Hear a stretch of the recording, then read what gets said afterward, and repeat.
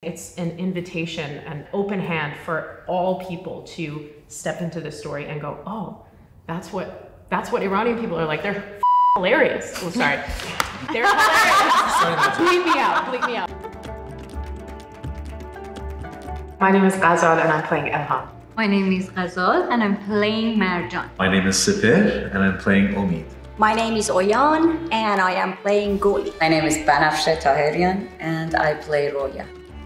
English is a play about four Iranian students who are studying for the TOEFL exam so that they can get their visa and move out of Iran.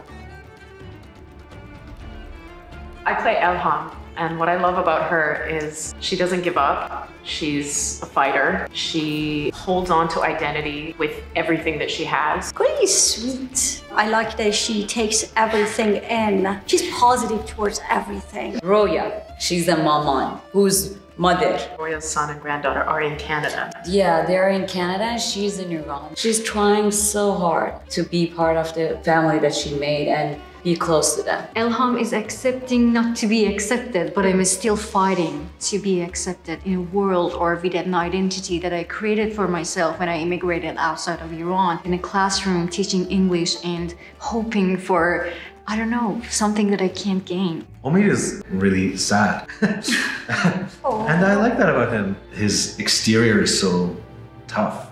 He's cocooned himself inside in his brokenness of identity and is ready to, to break free.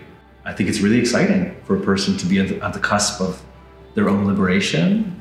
But I think it's a really succinct look at what a person's becoming can look like.